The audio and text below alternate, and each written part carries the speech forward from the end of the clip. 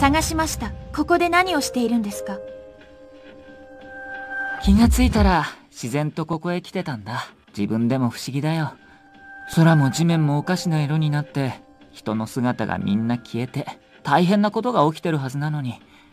でもどういうわけか心が落ち着くんだ。忘れたの？え？影時間。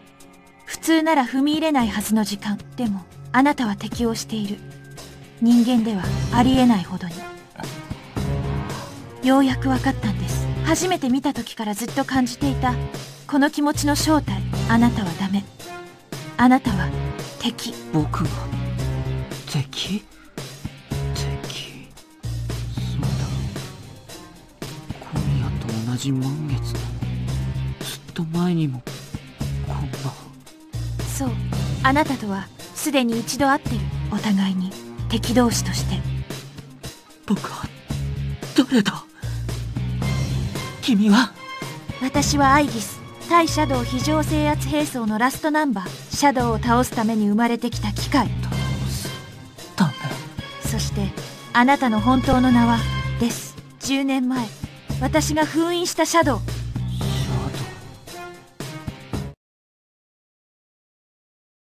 そう。10年前だ生まれてすぐ僕はこの橋に降り立った。私の目的はシャドウを殲滅すること。そのために私は私という人格とペルソナを授けられた。僕は13番目の属性を持つ者。みんな僕をデスって呼んでいた。でも生まれた時力の一部が砕けて散らばってしまってあの時の僕はまだ不完全な存在だったんだ。それでも力は想定を超えていた。倒せない以上残された道は捨て身で封印することだけ。そしてあの場に封印の器として足りるものはただ一つ。偶然居合わせた人間の少年以外になかった。私には選択の余地はなかった。そうか。僕はずっと彼の中にいたんだ。12の破片に引き寄せられるようにって。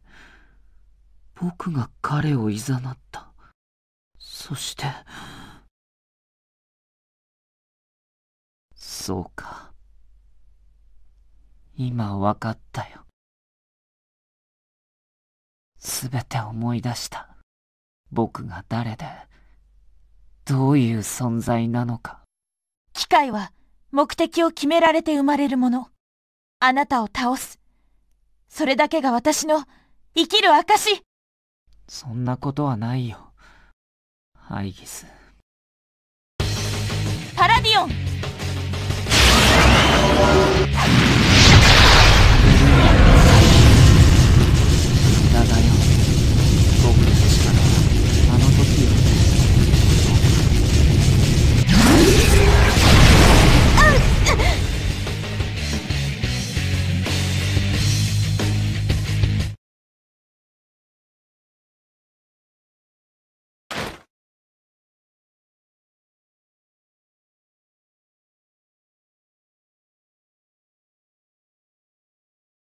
ごめんなさい。私じゃ、無理みたいです。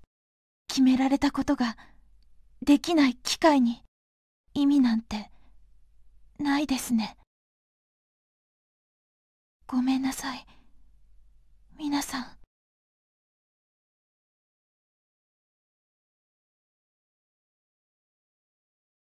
怖いよ。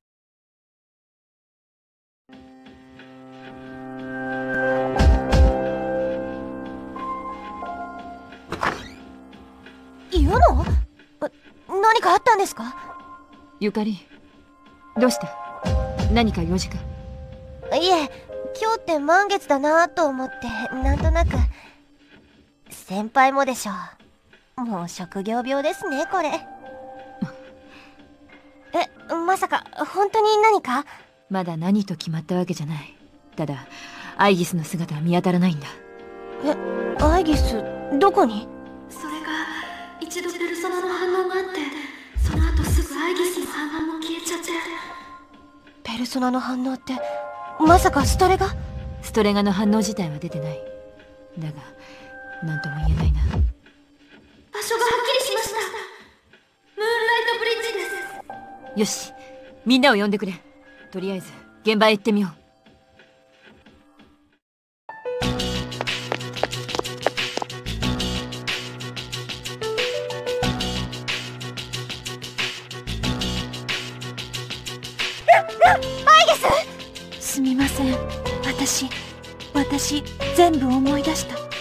私が誰なのか。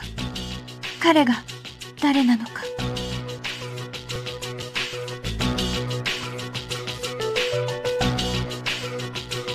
あなたのそばにいたかった理由も分かったの。ごめんなさい。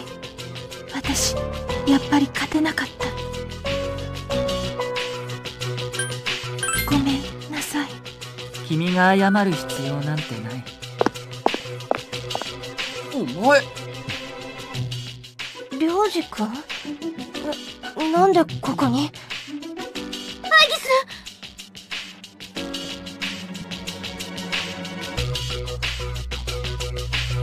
どういうことだ？全て僕のせいなんだ。お前がやったってことか。やめろ秋彦彼は戦う意志を見せてない。説明してくれないか。君は何者だ？僕は君たちがシャドウと呼ぶものとほぼ同じ存在なんだ。お前がシャドウだ？僕はシャドウから一歩進んだ存在。12のアルカナが全て交わって生まれる。宣告者なんだ。宣告者？さっき全てを思い出したんだ。シャドウの正体。そして僕自身の恐ろしい正体も。信じられない！こんなことってシャドウの正体を知っているのか？知ってる何？シャドウたちの目的。それは母なる者の復活なんだ。死の宣告者。その存在に引き寄せられて母なる者の目覚めは始まる。死の宣告者。それが君だというのか？そう。母なるものって一体？大いなるものさ君たちの言語に当てはまる言葉はない。10年前一人の人間の手によって無数のシャドウが一つの場所に集められた。そこで僕は生まれたんだ。でも結合はなぜか急に中断されてね。僕は不完全なままで目を覚ました。そして僕はアイギスと相打ちになった。アイギスと？本当なのか領事彼女は僕を封印しようと捨て身で挑んだ。そして僕はたまたまそこにいた一人の子供の中に封印された。その子供は僕を宿したまま成長し運命のいたずらで再びその地へ戻ってきたんだ。君たちの学園に。転入生としてね。転入生ってままさか。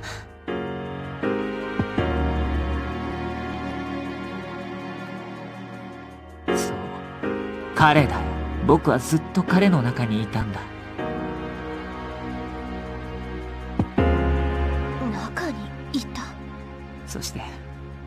彼に特別なペルソナ能力が目覚めそれと同時に12のシャドウが目覚めた。彼の中の僕と一つになるためにね。領事が死の宣告者でしかもこいつの中に入ってただといきなり言われたって信じられっかよそんなの！全て僕が原因なんだ。ごめんよ。それに君たちにはまだ大事なことを伝え司君？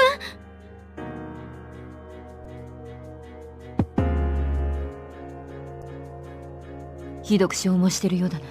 今日のところは引き上げて休ませよう。アイギスの件もある。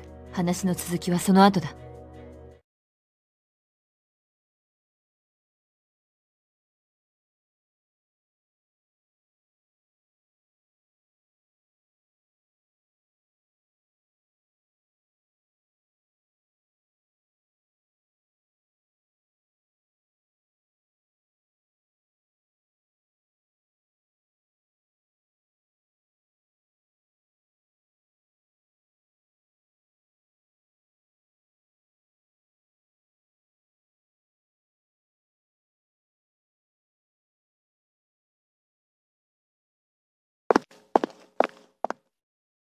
彼が目覚めた。夜になったら4階の部屋に集合してくれ。わかりました。じゃあ後でな。畜生幼児のやつ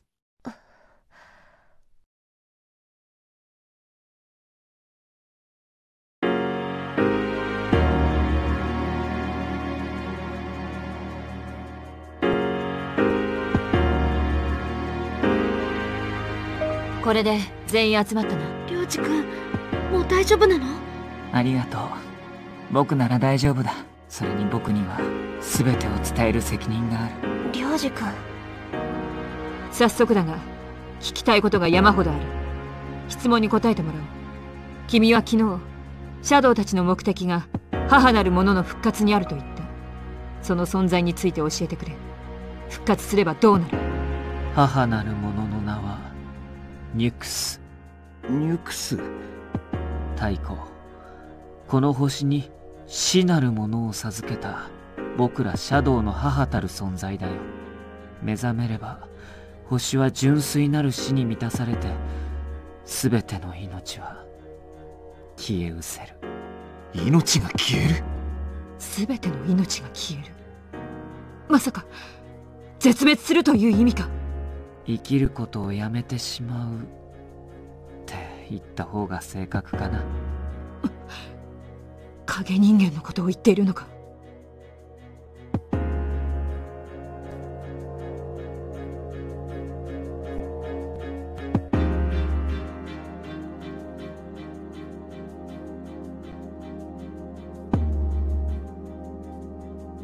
それが滅びか。けど仮にそうだったとしても防ぐ方法とかあるんでしょ？な何よ？まさか防げないとか言わないよね？すまない。待ってよ！何謝ってんの？そんな確定ってこと？そうさ鐘が鳴ったのを聞いたろ。あの時全ては決したんだ。僕は宣告者。死を宣告する者。僕は存在そのものが滅びの確約なんだ。滅びの確約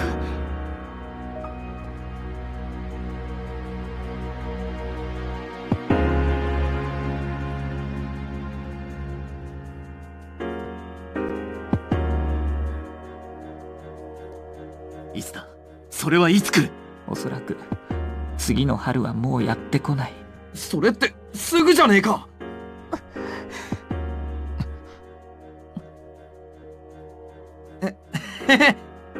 んな何ビビっちゃってるわけ？ニュクスだかなんだか知んないけどそんなん倒しちゃえばいいじゃん。今までだってずっと勝ってきたじゃんよ。それは無理だ。ニュクスの前では力の大小なんて問題じゃない。死なない命がないように時の流れを止めてしまえないようにニュクスを消すなんてことは決してできない。そんな。何かよそんなの！いきなりですね。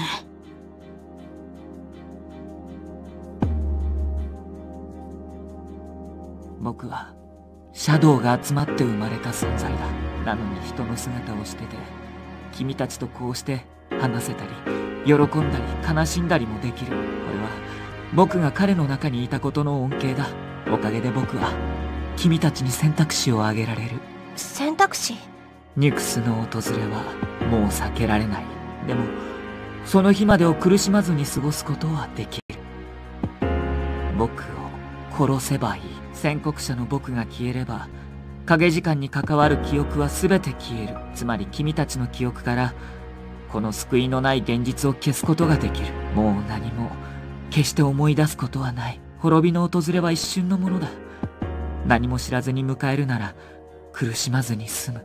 全てを忘れる。普通の高校生活に戻れるってことさ。それに滅びまでの時間も少しは長くなるかもしれない。本来僕の性質はニュクスと同じ。だから殺すなんてできない。でも彼のおかげで今の僕にはわずかだけ人の性質があるんだ。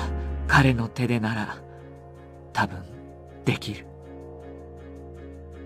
りょうじくんもし僕を殺さなければ全てが今のままだ。避けられない間近な死を怯えて待つだけの救いのない日常がただ続いていく。でも僕は君たちをそんな目に遭わせたくない記憶が消えるなんてそんなの嫌よ。っていうか忘れれば楽だなんてそんなの単なる逃げじゃない。逃げることは悪いことかい？逃げなければ。そこには君たちの想像を超えた途方もない絶望が広がってる絶対に死んでしまうという怖さを。君たちはまだ知らない。今の気持ちだけで簡単に決めない方がいい。なんだよ。なんなんだよ、これ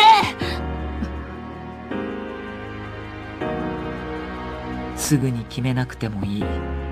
少しだけどまだ時間はあるから。12月31日。今年の大晦日。それまでに考えておいてそれを過ぎると僕は影時間の闇に溶けてもう君たちの触れられない存在になる。領事どうせ僕はニュクスの訪れとともに役割を終えて消える存在だ。僕の心配はいらない。大晦日になったらまた来るから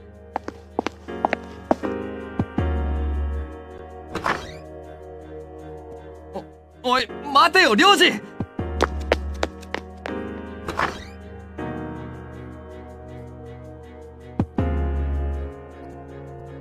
領事君。また来る